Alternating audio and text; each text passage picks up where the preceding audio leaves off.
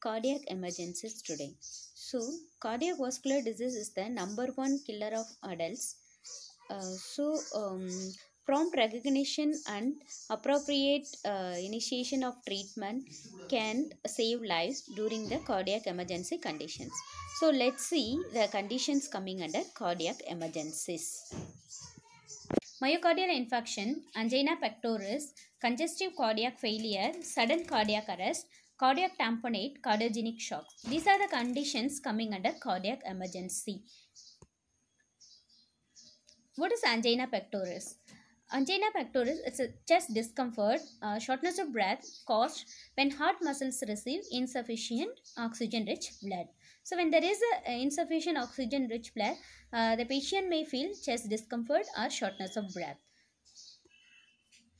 Acute myocardial infarction. Uh, it is also a medical name for heart attack. Uh, it is a life-threatening condition when uh, that occurs when blood flow to the heart muscles uh, it stopped completely stopped. It causes the tissue damage, the myocardial tissue death. So let's uh, we can see the uh, picture in that there is a myocardial cell that is the tissue death. So because of that, it it may be due to one or the more um, blockage of the one or more of the coronary arteries. Cardiac tamponade. What is cardiac tamponade? Cardiac tamponade also known as pericardial tamponade. When the fluid in the pericardium builds up, results in the compression of the heart. So it may be rapid or gradual. So sudden cardiac death. When the heart ceases to beat effectively and breathing soon ceases, a person is said to have experienced sudden cardiac death. So let's see. Uh, um, to meet the criteria for this diagnosis, the critical circulatory collapse. The, this collapse must be unexpected. It must relate in some manner to the heart problems. And it should occur with minimal warning or a complete absence of prelude symptoms. When the, um, the condition should be unexpected, it should relate with uh, some other heart problems. And also it cannot have any symptoms. Maybe some minimal warning but there should not be any particular symptoms should be there. Next cardiac arrest it is also known as cardiopulmonary arrest or circulatory arrest it's the end of normal circulation of the blood due to failure of the heart to contract effectively. It means the heart uh, stops to contract effectively so there is no blood circulation. There is a uh, normal circulation uh, like ending. Medical personnel may refer to an unexpected cardiac arrest as a sudden cardiac arrest. So what can be the causes? It can be cardiac and non-cardiac uh, causes. So let's see cardiac cardiac causes like uh, coronary heart disease, non-ischemic heart disease, cardiomyopathy, cardiac rhythm disturbances, hypertensive heart disease, congestive heart failure. These are the heart diseases like cardiac conditions may cause cardiac arrest. So what are the non-cardiac conditions may cause um, cardiac arrest? It can be trauma, non-trauma related bleeding like GI bleeding, aortic rupture, um, intracranial hemorrhage. If, in case of any drug overdose, drowning and pulmonary embolism also can cause uh, cardiac arrest. So what can be the management? It should be the cardiac arrest when the patient is getting cardiac arrest, it should be early recognized and early CPR has to be given and early defibrillation also has to be given. What are the medications we can use? It includes the use of epinephrine, atropine, amiodarone. So, vasopressin overall does not improve or worse outcomes but may be benefit uh, in those with asystole. It may not uh, improve but it may not worse also. So, but if in case of asystole, it may, if it is used early, it will be benefitable cardiac tamponade. So, already we have seen what is cardiac tamponade. So, let's see uh, the definition. Cardiac tamponade also known as pericardial tamponade is an acute type of pericardial effusion in which fluid accumulates in the pericardium. So, what can be the causes of cardiac tamponade?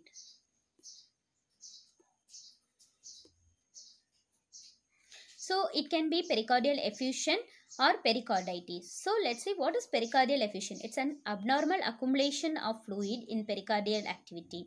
Because of limited space in the pericardial cavity, fluid accumulation leads to intraperi uh, intrapericardial pressure. So which negatively affects the heart function. Next pericarditis, inflammation of pericardium uh, due because of that the symptoms may include sudden onset of short uh, chest pain other possible causes like heart tumors hypothyroidism kidney failure and leukemia. And also like uh, when we do the uh, diagnostic procedures or we can do any treatment also it may also cause like placement of central lines radiation therapy to the chest reason invasive heart procedures any reason open heart surgeries and SLE like systemic lupus erythematosus also can cause cardiac tamponade cardiogenic shock. So let's see what is cardiogenic shock Cardiogenic shock is characterized by a decreased pumping ability of the heart that causes the shock-like state. So when there is a decreased pumping ability of the heart, when the heart uh, pump, heart's pumping ability decreased, so automatically it may cause shock-like state. Uh, there will be a global hypoperfusion will be there. So it most, mostly uh, occurs in association with and as a direct result of acute myocardial infarction. So let's see the pathophysiology of cardiogenic shock so, due to acute myocardial infarction, already we know what is acute myocardial infarction. There is a myocardial tissue death. So, because of the dead myocardium does not contract. Uh, dead myocardium does not contract. So, there is a decrease in contractility, reduces the ejection fraction and cardiac output. Due to this, what is happening? Increased ventricular filling pressure cardiac chamber dilatation is happening. Because of that there will be univentricular or biventricular failure may happen. Because of that uh, systemic hypotension it may lead to pulmonary edema. Uh, systemic inflammatory response syndrome. So due to myocardial infarction what is happening? There is a elevated levels of white blood cells body temperature interleukins and c reactive protein then uh, similarly, inflammatory nitric oxide synthetase, that is iNOS, inflammatory nitric oxide synthetase, it also released in high levels during myocardial stress.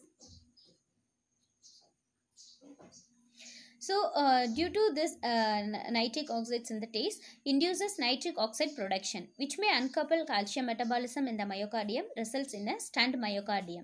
Additionally, it may leads to the expression of interleukins which may themselves cause hypotension. Uh, the next myocardial ischemia uh, because of that there is a decrease in the contractile function. So left ventricular dysfunction happens and decreased arterial pressure happens. So because of that exacerbate the myocardial ischemia severe cardiovascular decomposition happens.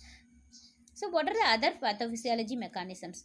Papillary muscle rupture leading to acute mitral regurgitation. It, it case it's like no 4.4 percentage of cases will be there. Then ventricular septal defect that is 1.5 percentage. Wall rupture will be there that is 4.1 percentage as a consequence of acute myocardial infarction then right ventricular infarction infarct by, by itself may lead to hypotension and shock because of reduced preload to the left ventricle cardiac tamponade also may result as a consequence of pericarditis uremic pericardial effusion and in rare cases systemic lupus erythematosus. So medications also may cause this um, condition. Calcium channel blockers calcium channel blockers may cause profound hypotension with a normal or elevated heart rate. Then beta, blocking agents may also cause hypotension with or without bradycardia or AV node block will be there. Nitroglycerin angiotensin converting enzyme inhibitors and barbiturates also can also cause the shock states uh, and may be difficult to distinguish from cardiogenic shock. So what can be the clinical manifestations of cardiogenic shock? The physical examinations findings are consistent with shock.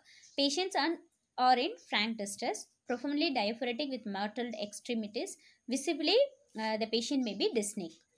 Uh, and also we have to see ABC that is airway usually patent initially then breathing may be labored with audible coarse crackles or wheezing. Circulation also is markedly uh, impaired like tachycardia will be there, delayed capillary refill will be there, hypotension, diaphoresis and poor peripheral pulses also are frequent findings. Then there will be signs of end organ dysfunction may be also present.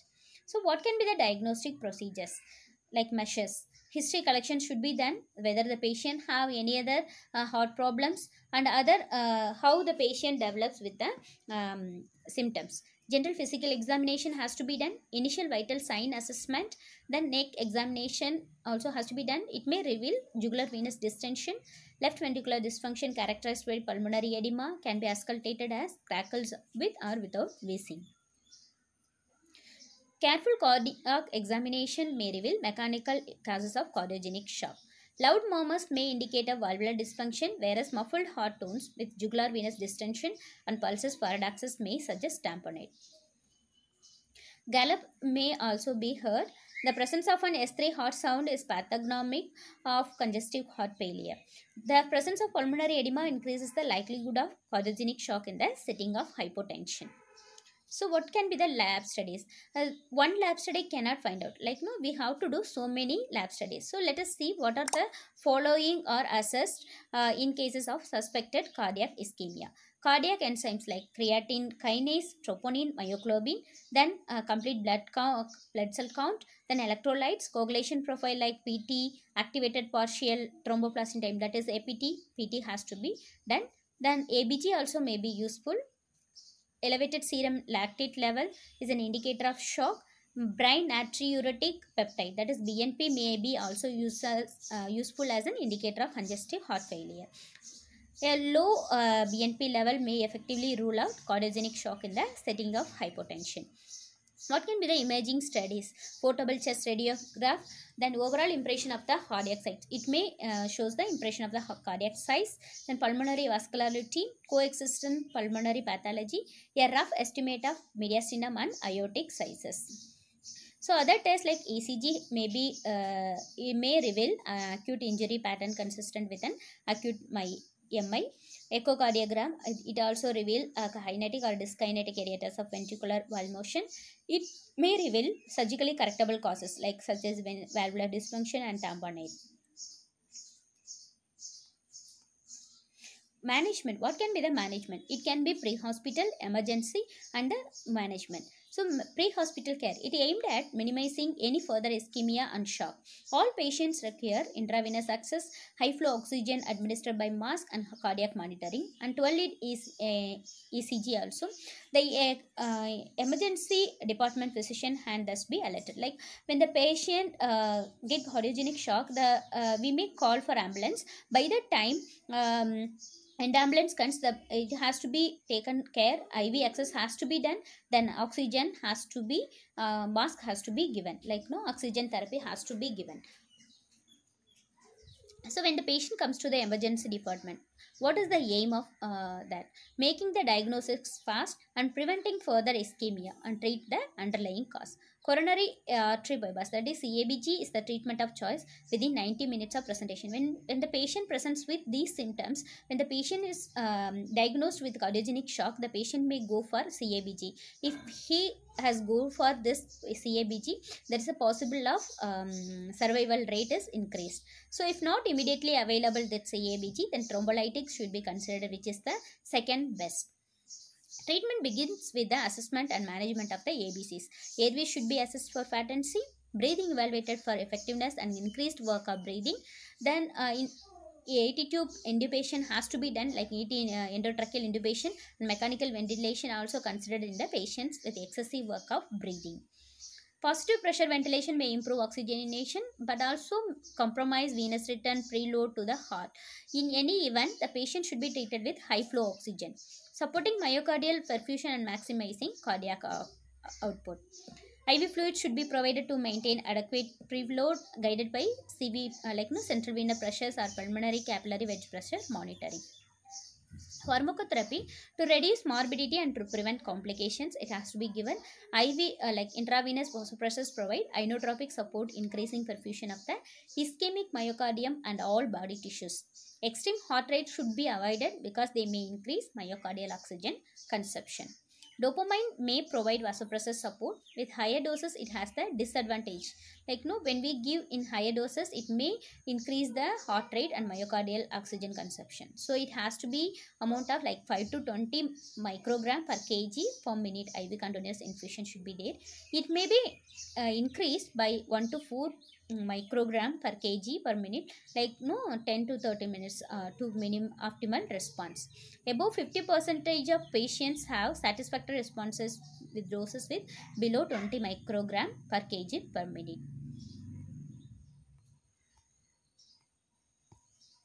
Next, dopamine inamrinone or milrinone uh, may provide inotropic support. In addition to their positive inotropic effects, inamrinone and milrinone have a beneficial vasodilator effect, which reduces preload and afterload. Uh, the dose can be 5 to 20 microgram per kg per minute. IV continuous infusion should be done. Then phosphodiesterase enzyme inhibitors. It may improve cardiac output in refractory hypotension and shock.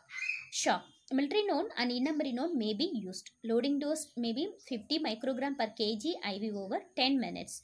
Continuous infusion like uh, 0.375 to 0.75 microgram per kg per minute IV has to be given. Then nesiritide that is Natrecor uh, should be used with caution in the setting of cardiogenic shock because it has been shown to cause hypotension. Vasodilators that is smooth muscle relaxants and vasodilators that can reduce systemic vascular resistance allowing more forward flow and improving cardiac output.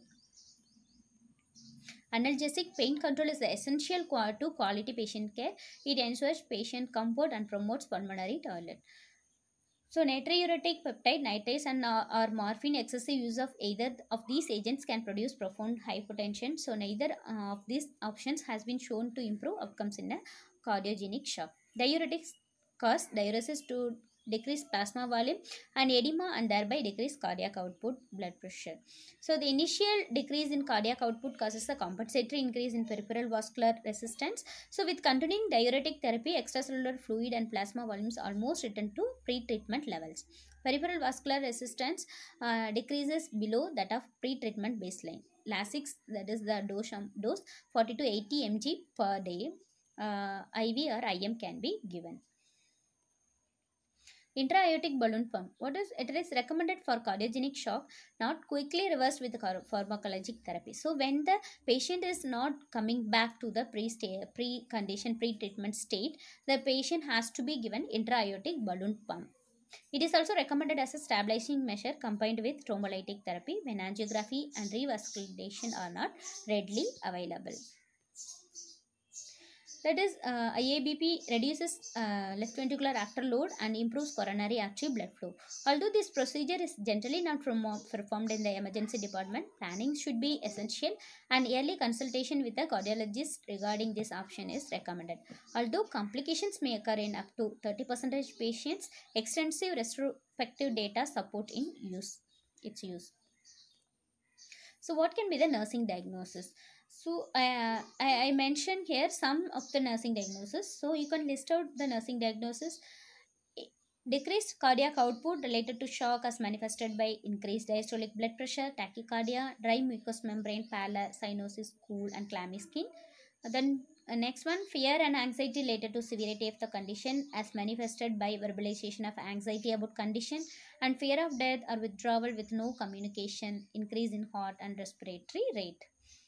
The next, high risk for organ dysfunction related to decreased dis tissue perfusion. So we have finished with this uh, condition. If you have any doubts, you can ask me at any time. Thank you. Thank you all.